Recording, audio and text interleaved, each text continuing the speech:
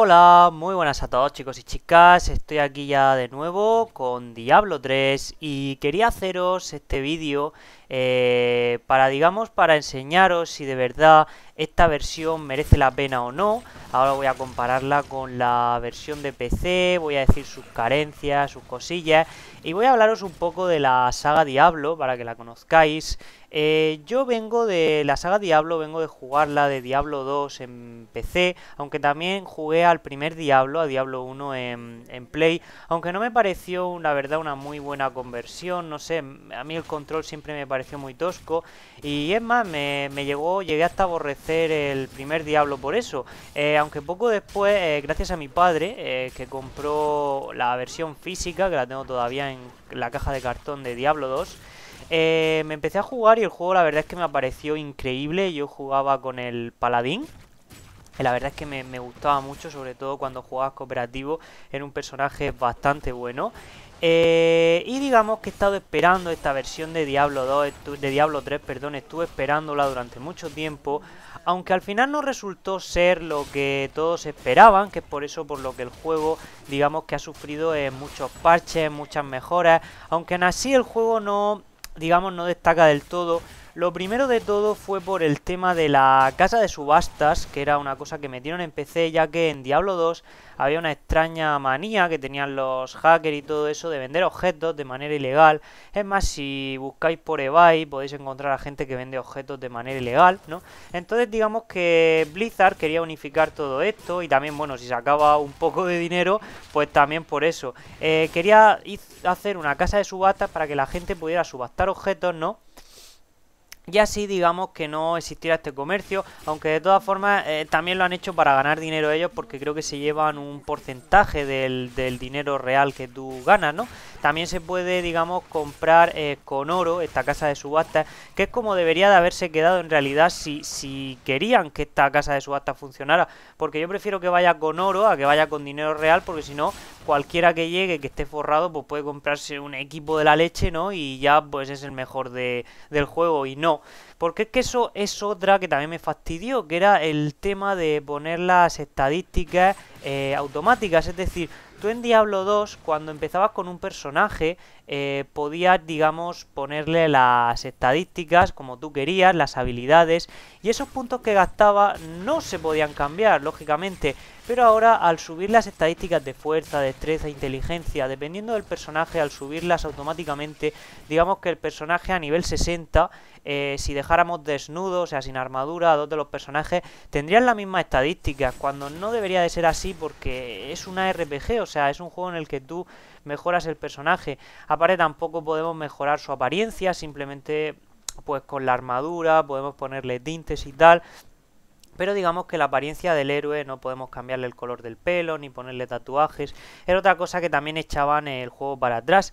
Eh, yo recuerdo que en Diablo si era bastante. El Diablo 2, perdón, si era bastante tosco el tema de las habilidades. Porque podía ser que llegaras a un nivel de dificultad muy alto y que tu personaje, pues no hubiera manera de, que avanzara. A mí no me pasó con el paladín, pero sí me pasó con un necromante de estos. Que digamos que como era un, personaje un poco experimental, porque podía resucitar muertos y tal, no sabía manejarlo. Y digamos que no supe eh, usar las habilidades adecuadas. Por eso el personaje creo que lo dejé en la segunda dificultad, porque no había manera de avanzar con él. Y seguí ya pues con mi paladín que aún lo tengo que tener por ahí. Yo creo que si busco la partida lo tengo que tener por ahí, el paladín. Y eso era el problema, entonces quisieron hacerlo un poco más casualizado el tema del juego y le pusieron lo de que las habilidades tú podías ir combinando y si te valía una pues te la quedabas y si no te valía pues seleccionabas otra. Aparte esas habilidades tienen digamos sus características que le permiten por ejemplo este personaje, por poner un ejemplo habéis visto que hace como una patada que lanza a los personajes a la otra punta del mapa, que es eso que estoy enseñando ahora. Eh, pues por ejemplo le puedes poner una ranura que haga que esa patada, aparte de lanzarlos, pues los queme. Por ejemplo, o que los dejes conscientes, o que digamos que haga que salten los enemigos y cosas así. Entonces, digamos que eso está bastante bien por el tema de que así la gente no se frustrará ni, ni, ni tendrá desperdiciadas todas esas horas que haya echado a Diablo, ¿no? Pero aún así el tema de los puntos de destreza y fuerza me parece algo inhumano haber hecho eso en, este tipo de juegos.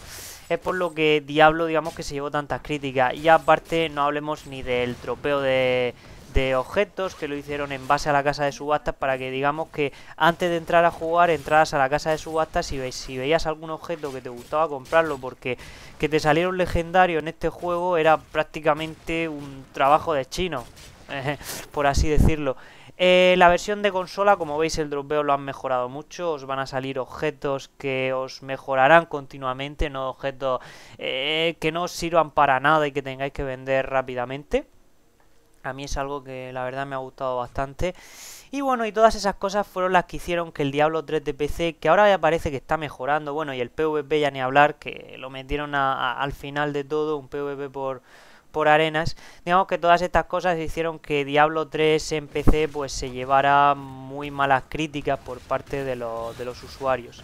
Ahora van a sacar una expansión nueva, Reaper of Soul, que, que, digamos que mm, parece ser que va a arreglar el tema del dropeo, el tema también de los niveles de leyenda, que ahora cuando consigas un nivel de leyenda creo que sí podemos asignar eh, puntos de destreza, fuerza o, o vitalidad a nuestro personaje manualmente, que por fin han podido hacerlo, no han podido arreglar.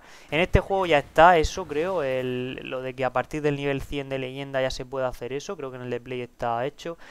Y aparte, otra cosa es que yo creo que este juego eh, se, se concebió, aunque no lo sacaron a la misma vez en consola y en PC, se concibió para consola porque es que el control es demasiado bueno.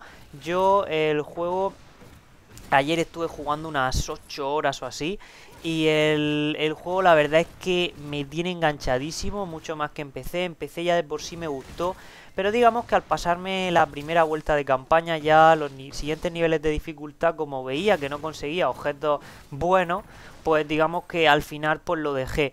Pero, pero ahora he empezado con un monje en PS3 y la verdad es que los objetos ya de por sí ahora me están saliendo objetos bastante buenos con los que equiparme. Ya me han salido incluso un legendario, me salió el otro día en un boss. Y la verdad es que estoy muy contento con esta versión, como veis también el sistema para asignar las armas es diferente a PC, digamos que por, va por ranuras, podemos escoger mano izquierda o derecha y ahí te salen los objetos indicados para cada parte.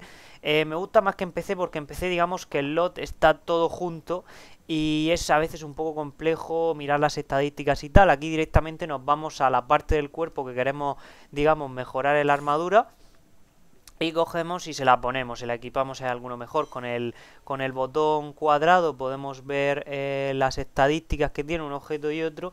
Y la verdad es que está bastante bien. También le han añadido un botón de esquive, un botón para poder esquivar a los personajes. Como si fuera, me recuerda al God of War que puede el personaje rodar. Si le damos al stick derecho me ha recordado mucho a God of War. Y como os digo, empecé con un... Y más todavía cuando llevo este tipo de personaje, porque empecé con un monje que eh, yo empecé, llevaba la cazadora de demonios, que me gustaba mucho. Eh, pero digo, ya que, ya que he empezado ahora en consola, digo, pues voy a probar y voy a empezar con un personaje más melee, ¿no? Ya que me, apetecía también cambiar un poco el estilo de juego. Ya os digo que estoy súper encantado. Aparte abajo, a la izquierda, como veis, tenemos la barra, han hecho una barra de vida que no va por el circulito ese. El circulito, digamos, que es la magia del personaje.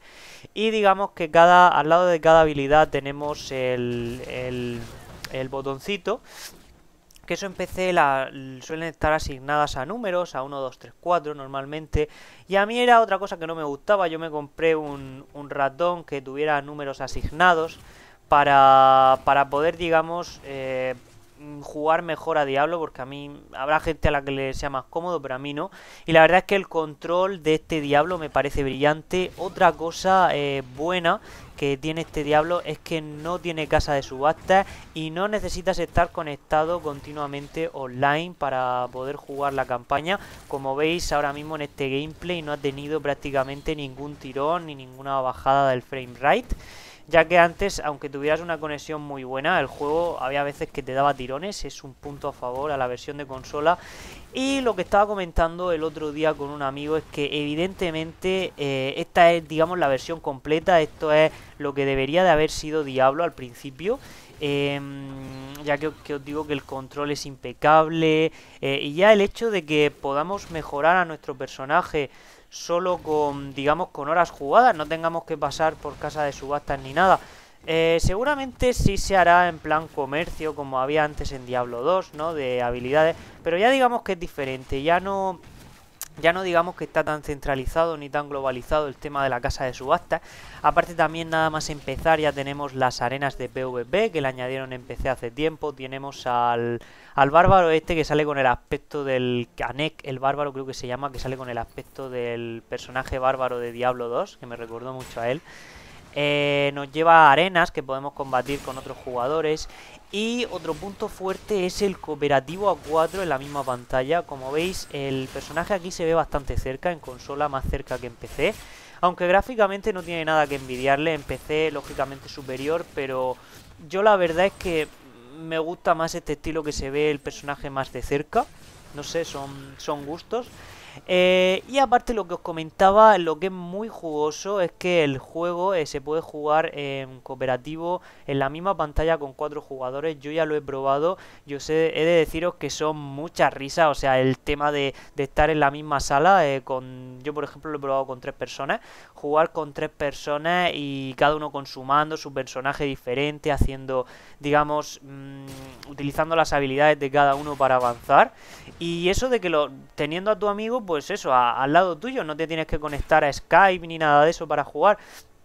Para mí la verdad es que ha sido una experiencia inolvidable. Y he de decir que sí, eh, me gustaría afirmar de que sí que está en la versión definitiva de, Diablo. También sacarán, supongo, la expansión, aunque la, pillaré para PC, como no. Yo este juego lo juego tanto en PC como en, como en consola.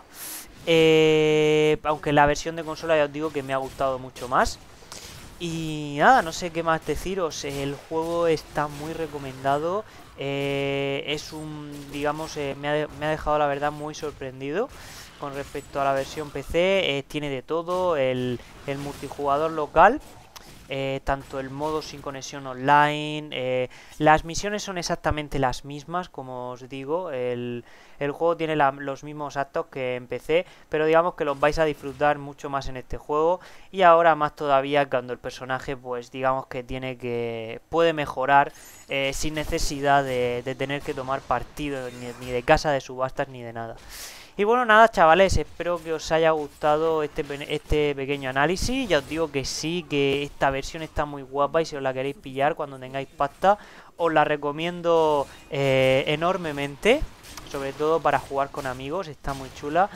Eh, y nada, deciros que en principio no me iba a pillar este Killzone nuevo que van a sacar para PS Vita, el Mercenari.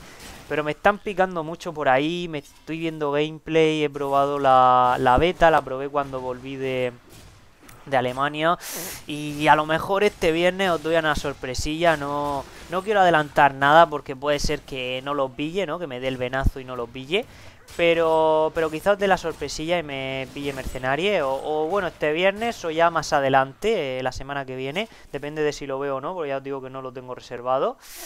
Y bueno, nada chicos, espero que os hayáis disfrutado del vídeo. Y ya sabéis, like, favorito, suscribíos y a seguir diableando. Adiós.